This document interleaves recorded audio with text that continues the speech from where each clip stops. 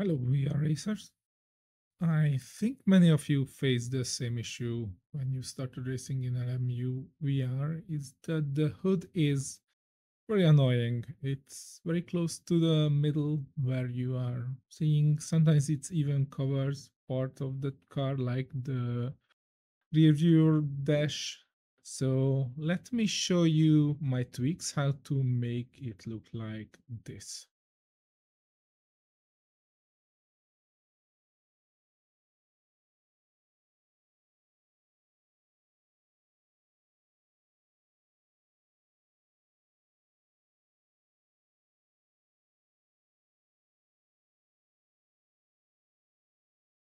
In order to do this, we have to do two things. First, we have to edit the JSON files of the game that it can utilize the wide UI. In order to do that, you need to find the the folder of the game. If you don't know where it is, the easiest way to find is go to Steam, Le Mans Ultimate Manage, browse local files it pops up the folder. We have to go to user data, player, and look for the settings JSON file. I highly advise you to make a copy of it, just Control C, Control V, so we have a backup. Then you right click and open it with any kind of notepad. First, we need to look for wide,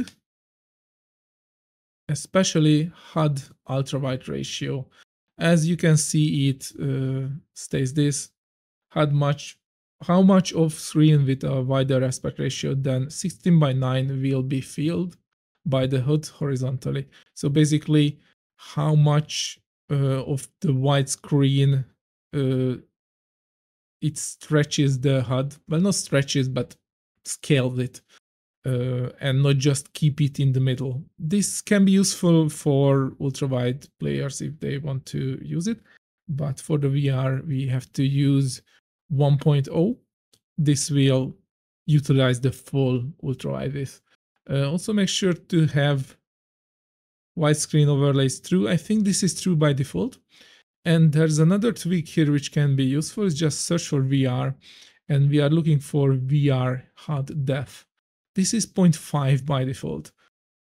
What this does is how far the HUD is rendered from your view. Um, how it is done is it uh, adjusts the interpupillary scaling because uh, if you look closer you have to uh, cross your eyes a bit if you look further your eyesight is parallel uh, if you increase it it's less stressing to view, like uh, view suddenly to the HUD, but it feels like it's very far away, like in front of the car. If you make it closer, it's a bit more stressing to view at it, but it feels like it's in the car, like on the dash.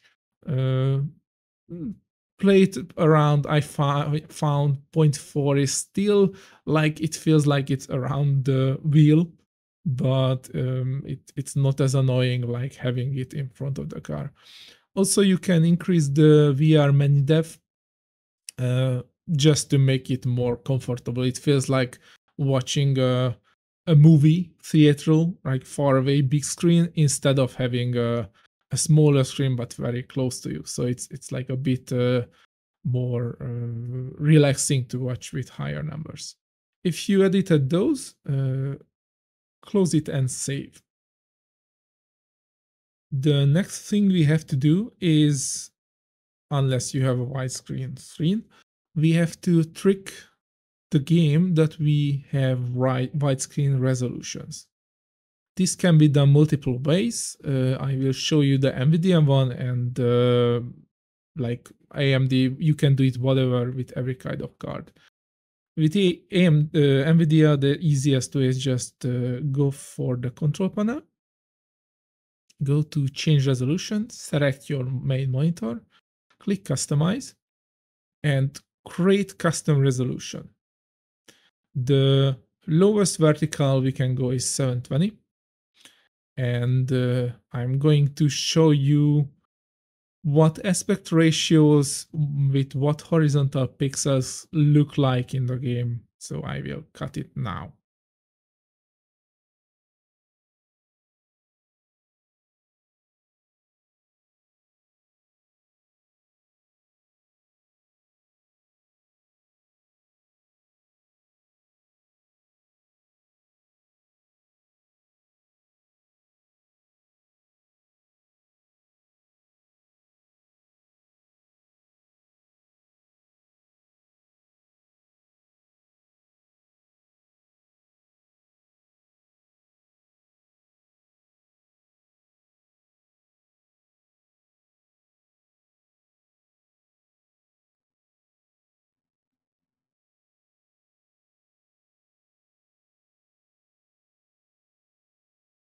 If you decided which one you want, like 1920, which is 24 by 9, I think, uh, you type it in and just click test. This will make havoc of your desktop, don't worry. Even if you don't see anything, wait a bit when, the when the resolution comes back or a few seconds after, click left on your keyboard and press enter if you did it right, right, it should appear here. Don't worry even if it's not supported by your monitor. It doesn't matter because we are not going to use it on the monitor. We are going to use it in a window.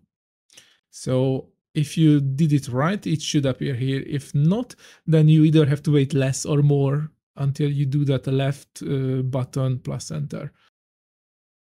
Uh, the other way to do it is with custom resolution utility. CRU is a free program. You have to go to search for custom resolution utility, ToastyX, lovely program. Uh, download a zip, and you have to extract it somewhere, start it up, uh, select your main monitor. This does the same as the NVIDIA. It basically just lies to the system what the EDID has. And we, after you selected your uh, main display, in the detail resolution, click add, type in the resolution you want. With the refresh rate, you your monitor is the highest. Press OK, press OK again, and either restart your whole PC or try this restart 64.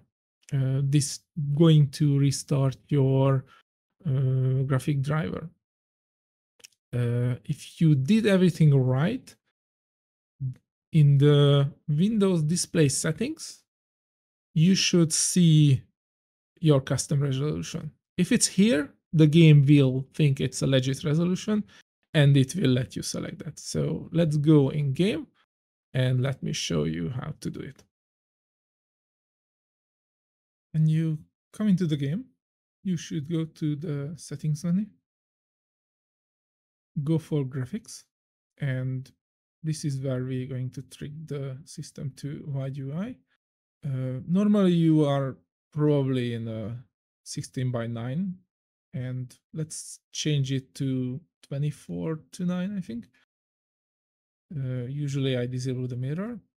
Keep apply. This has a side effect of making the UI smaller and wide. You can counter it with increasing the menu scale. The wideness will remain, but it's not really affecting much of the game because the the sides are just extra graphics usually. So you want to go into session.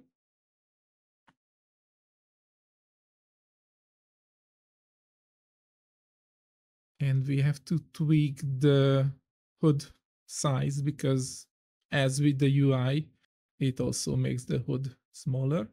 So you start driving, you can see it's a bit small and not far enough, still a bit annoying. So let's go to settings, graphics, and increase the HUD scale like 0.4 for the 24.1, 0.2 for the 21.9, uh, 1.6 for the 28.9 and this will make the HUD look like this as I showed previously.